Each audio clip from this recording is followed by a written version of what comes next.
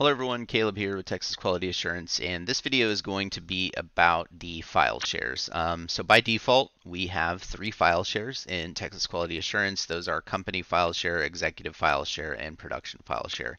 Uh, so you can either click here, uh, click the name file share, it's going to bring you to this landing page, or you can click the down arrow and go to the specific file share that you want. Um, so what do I mean by file share? Uh, file share is going to be a way um, for you to and your employees to kind of share files online uh, so you can have access to them from anywhere or you know be able to download modify them you know from anywhere through the through the TQA cloud site it is not a spot for document control. Um, so if you have controlled documents, those definitely need to go in their respective document control areas. Um, but whoever you give access to uh, in your security portal to these three company file shares will have access to either edit or read. Uh, reading means they can view the files. Edit means they can actually add or remove files or interact with the files. Um, so one of the considerations is, you know, the storage limitations for your package, uh, your TQA Cloud package.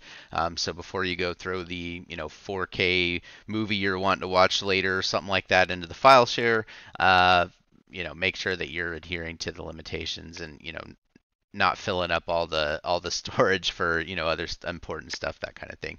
Uh, so one thing about the company file shares and this is very important is you know although we have labels here you know executive file share sounds like it's for top management only which is you know what it is kind of by design your permissions are set through the security portal.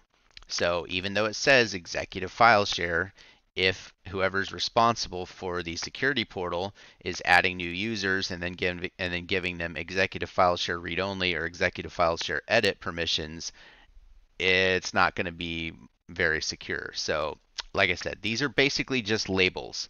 Um, you really have to define your own security and your own security levels by who you give permissions to to access these company file shares. So for each of these company, executive, and production file share, there's going to be edit and read permissions over here. So we have executive, production, uh, and then company file share. So make sure that your security permissions are set adequately. And you know maybe after this video, go double check because you definitely don't want you know top management information being stored in here just to find out later that somebody you know who's not even a manager has access to the executive file share. Um, so that's about it. If you have any questions, you know, uh, give us a call. Again, this is Caleb, and have a good day.